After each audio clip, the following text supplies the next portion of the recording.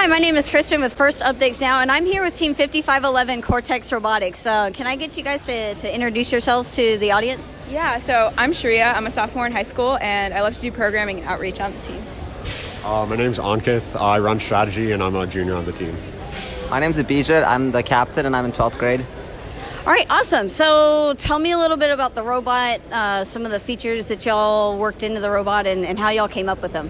Uh, so basically, on kickoff day, uh, on kickoff day, when we were coming up with our strategy, our main goal was we didn't want to try to do everything, which is something that has plagued us with issues in the past years.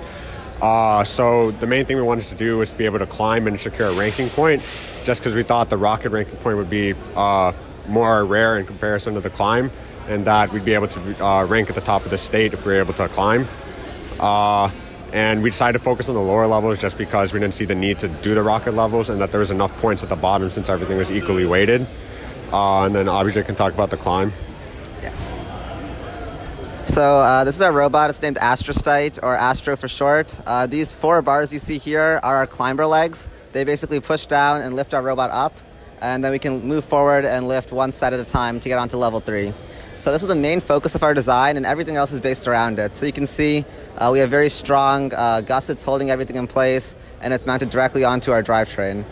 Uh, and then we have a hatch mech and a cargo mech on the inside. They basically were built after the car- after the climber, and they were designed to fit around our climber. So we really valued getting the climber in, and then adding cycling as a second uh, priority. Awesome. So it sounds like y'all really thought through strategy, and it sounds like that it worked out almost perfectly. Um, can y'all tell me a little bit about some of the outreach y'all do? Maybe y'all have a cool team tradition. Yeah. So one thing that Cortechs that's unique about Cortechs Outreach is our mobile workshop expo. Mm-hmm. So through this expo, we try to target underserved kids, so the kids who maybe haven't heard of STEM or don't really get the chance to play with Legos. So we actually based off our curriculum off of first material, and we supplemented them with well-tested STEM activities that have been iterated for a full curriculum. And we actually go out into the community, and we really spend time and engage with and build personal connections with these kids. So we started in Garner Community Center, then we went to Daniel STEM Center, and our goal by the end of three, three years is to hit all 22 community centers in our area and make an impact. Well, that's awesome. So it sounds like y'all are well, uh, really well-rounded team, and y'all are off to a great start. Um, y'all are ranked at what position at this point? Y'all are fourth ranked at this point, and we're just going into lunch. So uh, good luck with the rest of the competition, and we'll see you guys on the field.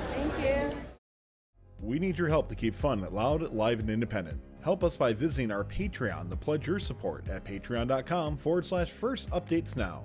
You can also support Fun live on Twitch for a few bucks a month or by linking your Prime account for free and clicking subscribe.